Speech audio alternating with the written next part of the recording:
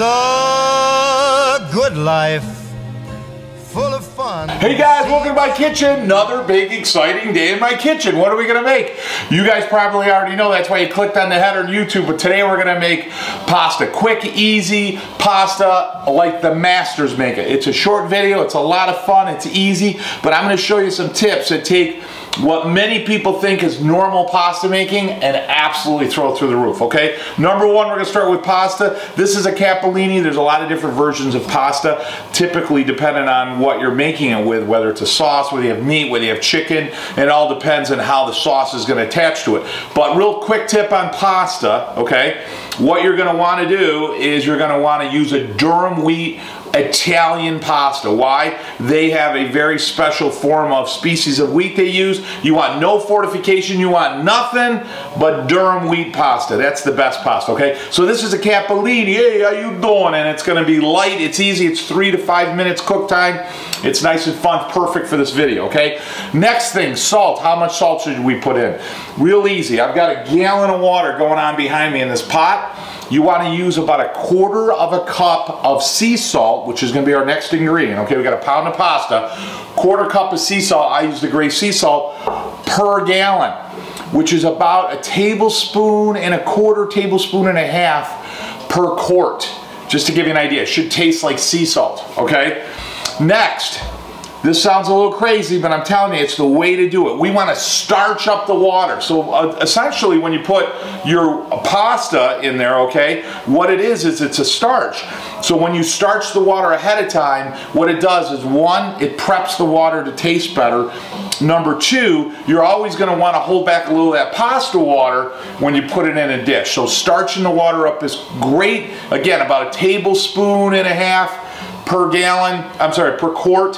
So I got about a quarter cup of semolina, durum wheat semolina flour. We're gonna actually throw that in the water, okay? Now that I'm so excited, I got to swallow here. That water is going, and I want a rapid boil. So the, the water's going, it's a rapid boil. Then I'm to put the salt, I'm to put the wheat in there. Next big question, do you put olive oil in there? My advice to you is to never. I know it goes against some people. Hold on, don't get mad at me. Don't ever put olive oil in your water. One, a nice big pot stirred will always prevent your pasta from sticking, not the oil, okay? Oil it after. Number two, if I oil the pasta, okay, what happens is the oil will attach to the pasta and it prevents the absorption of the water, any type of salt, any type of flavoring is now inhibited from penetrating the pasta.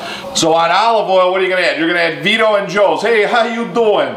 So guys, go right on our website, which is Cooking Italian Joe. You can go on our Facebook. You can go on Vito and Joe's, uh, extra virgin olive oil on Facebook as well. And grab yourself a bottle of oil. We sell a large, I'm so excited I can't talk. We sell a large and a small. They're inexpensive. We'll drop ship it right to your house. Comes right from our farm or farms out in Puglia absolutely delicious. Last, we're gonna add some pepper. So we wanna add some pepper and some salt after we take it out. So we're gonna take a bowl, right? We're gonna take our bowl, we're gonna put some olive oil in here, we're gonna put some salt, pepper, you can add garlic, whatever you want. Then when you take the pasta out, you're gonna put it in there, and the masters, they only use tongs. You don't use a colander. What are you using a colander for? Are you kidding me? You use a thong. And then you want to save that pasta water because sometimes you'll need to add that or add a little liquid and you don't want to dilute anything. You want to add the pasta water, okay? So hopefully I didn't make it complicated. I'm going to bring you right over here. I'm going to show you exactly how this works. Couple more minutes, we're done, baby. Mwah. Talk to you in a minute. Here we go. I got this thing going. So it's a little trick my father always used to do. He used to take a plate, throw it over the top. Now we got a rapid boil. Rapid boil, I'm gonna take my semolina durum flour. How you doing, okay? Now that's gonna starch up my water. Number two, I'm gonna take my salt. Add that right to it, okay? And now what we're doing here is we're prepping it. You wanna wait till that water's boiling so that you can get a beautiful mix and everything dissolves. And you're gonna see how perfect that is, okay? See how nice and starchy that water is? All right guys, so during the cooking process, you wanna just check it once or twice, and we're going for that al dente, right? Which means that it's not crunchy, but it's got a little bit of a bite to it, a little bit of a depth to it. So what I did is I took about eh, a third of a cup of olive oil, Vito and Joe's extra virgin, obviously, right? And I did a little thyme, a little rosemary, a little basil, salt and pepper, and I put it right in that olive oil in the bottom of that bowl. And then with my tongs, I'm just gonna take that pasta, and it's okay that you get some of that water in there, okay? And I'm just gonna put it right in there. So like a master, you're gonna take those, you're gonna take those tongs and you're just gonna put it in there. Now, if you if you're doing a dish where you maybe need a little bit extra moisture or your pasta gets a little dry, now I'm just gonna mix it. Look at that, nothing's sticking together. Isn't that beautiful? Look at that, I got the olive oil. Isn't that gorgeous? I got just a little bit. You can throw cheese in there if you want. I like to put it on after.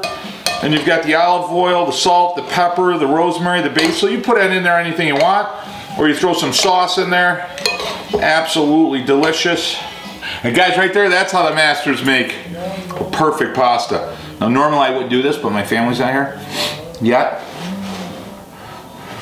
I'm gonna taste that puppy right now. Mmm.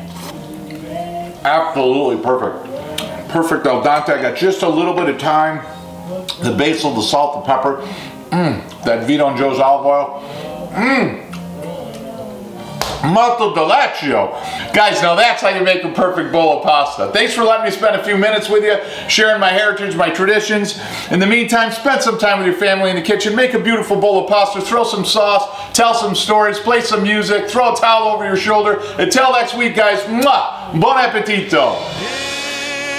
It's the good life.